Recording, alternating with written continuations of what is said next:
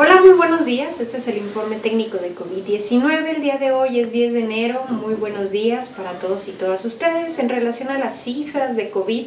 Informándoles a ustedes que de nuestro último reporte el día de hoy se han registrado 221 casos nuevos con una tasa de incidencia de casos activos de los últimos 14 días de 10.6 por 100 mil habitantes. Observamos pues que ahora ya empieza una cifra un poquito más alta a las que habíamos estado registrando. Veamos cómo se desenvuelve durante el mes de enero, pero es muy importante que todos nos cuidemos y que las personas con síntomas respiratorios pues mantengan la distancia, usen cubrebocas y por supuesto se atiendan con algún médico para que puedan estar recibiendo el tratamiento y el diagnóstico adecuado.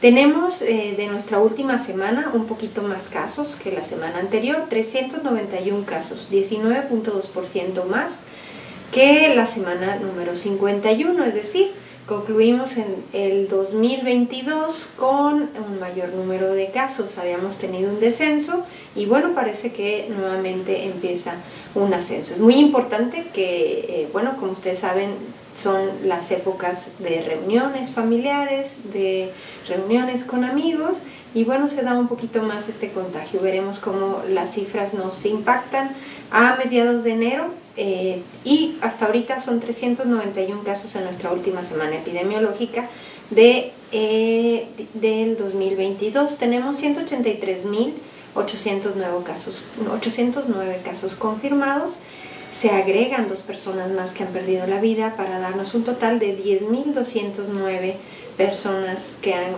fallecido por esta causa. Tenemos en nuestros hospitales 21 eh, personas hospitalizadas, 19 en camas generales y 2 en el área de terapia intensiva, con una ocupación de 27.1% y de 2.2% en el área de terapia intensiva, cifras bastante bajas, eh, el comportamiento ha sido en las hospitalizaciones bastante estable.